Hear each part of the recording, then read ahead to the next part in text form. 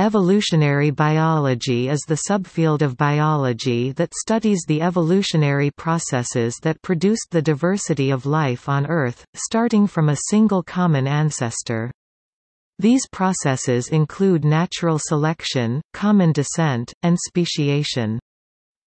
The discipline emerged through what Julian Huxley called the modern synthesis of the 1930s of understanding from several previously unrelated fields of biological research, including genetics, ecology, systematics, and paleontology. Current research has widened to cover the genetic architecture of adaptation, molecular evolution, and the different forces that contribute to evolution including sexual selection, genetic drift and biogeography. The newer field of evolutionary developmental biology, Evo-Devo, investigates how embryonic development is controlled, thus creating a wider synthesis that integrates developmental biology with the fields covered by the earlier evolutionary synthesis.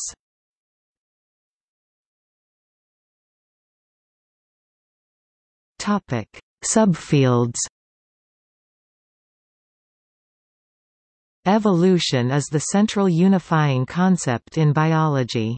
Biology can be divided in various ways. One way is by the level of biological organization, from molecular to cell, organism to population. An earlier way is by perceived taxonomic group, with fields such as zoology, botany, and microbiology, reflecting what were once seen as the major divisions of life. A third way is by approach, such as field biology, theoretical biology, experimental evolution, and paleontology. These alternative ways of dividing up the subject can be combined with evolutionary biology to create subfields like evolutionary ecology and evolutionary developmental biology. More recently, the merge between the biological science and applied sciences gave birth to new fields that are extensions of evolutionary biology, such as evolutionary robotics, engineering, algorithms, economics, and architecture. The basic mechanisms of evolution are applied directly or indirectly to come up with novel designs or solve problems that are difficult to solve otherwise. The research generated in these applied fields in turn contribute to progress, especially thanks to work on evolution in computer science and engineering fields such as mechanical engineering.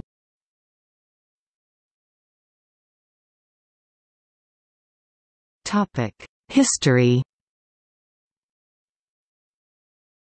The idea of evolution by natural selection was proposed by Charles Darwin in 1859, but evolutionary biology, as an academic discipline in its own right, emerged during the period of the modern synthesis in the 1930s and 1940s. It was not until the 1980s that many universities had departments of evolutionary biology. In the United States, many universities have created departments of molecular and cell biology or ecology and evolutionary biology, in place of the older departments of botany and zoology. Paleontology is often grouped with earth science. Microbiology too is becoming an evolutionary discipline, now that microbial physiology and genomics are better understood. The quick generation time of bacteria and viruses such as bacteriophages makes it possible to explore evolutionary questions. Many biologists have contributed to shaping the modern discipline of evolutionary biology.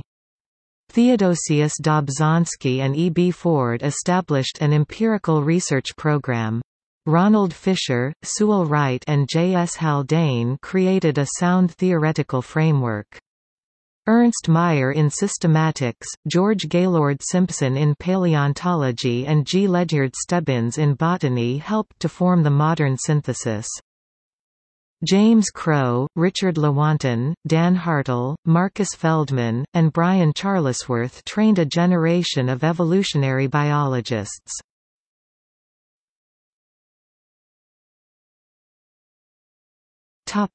Current research topics Current research in evolutionary biology covers diverse topics and incorporates ideas from diverse areas, such as molecular genetics and computer science.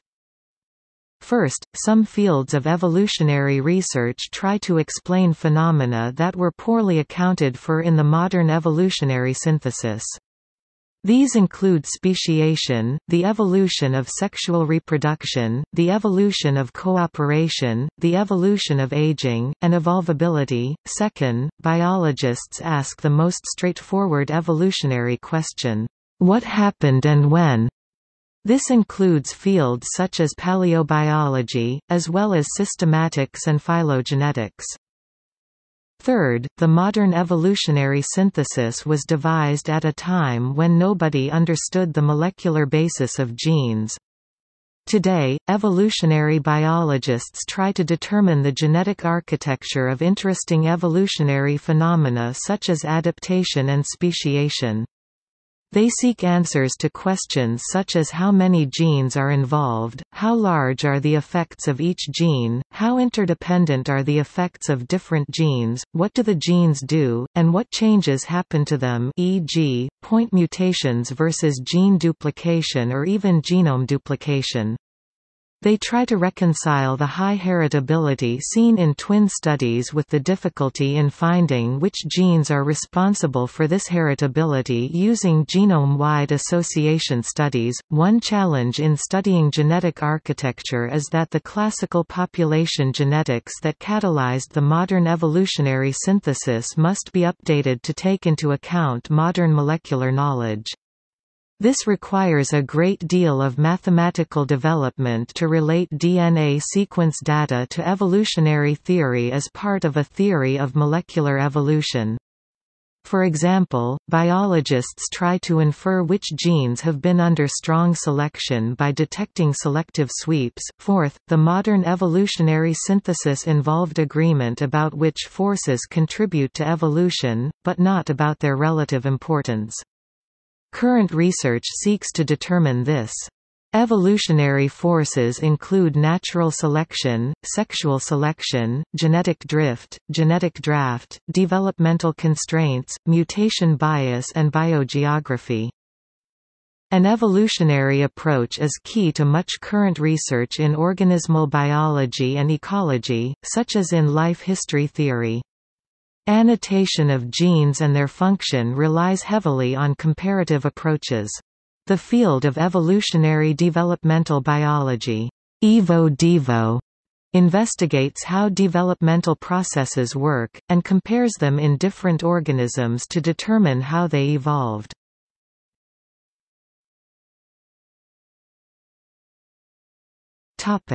Journals